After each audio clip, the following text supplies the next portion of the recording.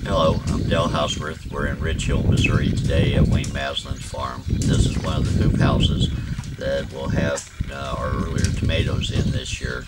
These are some of our early varieties of tomatoes. They should hit the stores somewhere around the 1st of June.